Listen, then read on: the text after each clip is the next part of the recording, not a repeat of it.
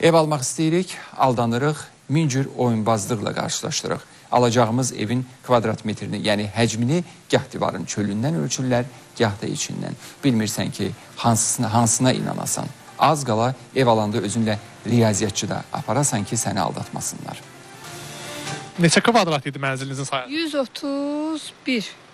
Amma gəlib az çıxıb 120. Hardasa 10 kvadrata yaxın eksik gəlir. Sütunlar deyir kvadrata gedir.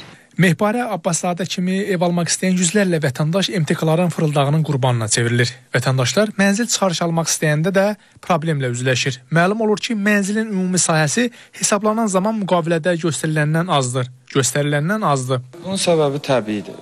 Belə deyək də, vətəndaşlar mənzil alanda oxdan oxa ölçülər verilir.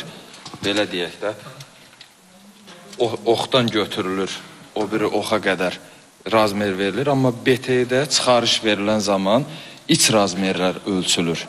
Yeni tikilən binalarda mənzillərin satışı zamanı kvadratların şişirdilməsi bəlkə də hər 10 payçıdan 5-inin qarşılaşdığı bir problemdir. Araşdırmalara görə hər mənzildə 15-20 kvadrat artıq hesablanır ki, bu da bir mənzil sahibinin 20 min manat məbləğində aldadılması deməkdir. Qanunvericilikdə mənzillərin yaşayışa yararlı hissəsinin ümumi sahə daxil edilməli olduğu halda ancaq bəzi tikinti şirkətləri divaraltı sahələrlə yanaşı mənzillərin satışı qadağan edilmiş ərazilərini də müqaviləyə daxil edir.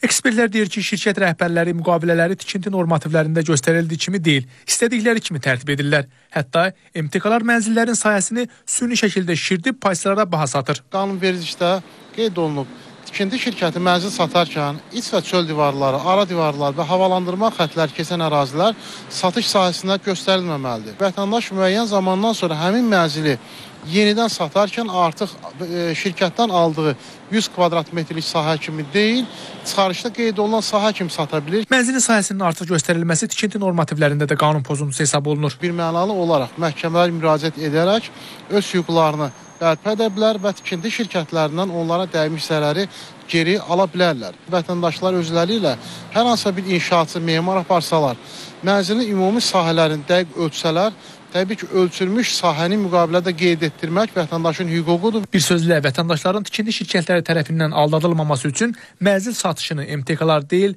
dövlət qurumları tərəfindən aparılması məqsədə uyğun hesab edilir. Rəşad Vəkiloğlu, Nurlan Şahbazov, Space xəbər.